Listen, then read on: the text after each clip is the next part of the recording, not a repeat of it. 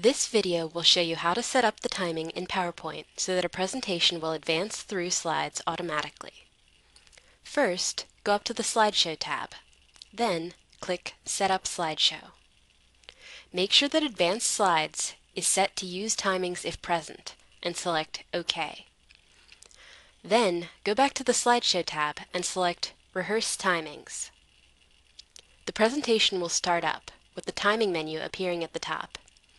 You'll need to click to the next slide at the time when you would want the slides to advance during the final presentation.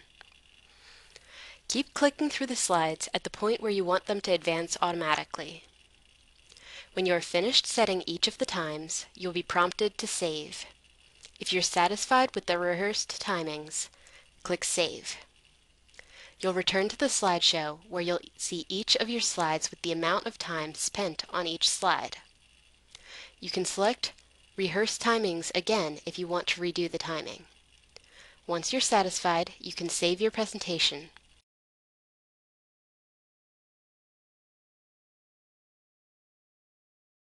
Then, select to play your slideshow from the beginning. Whenever you start your slideshow, it will automatically advance through the presentation using the timings you just set.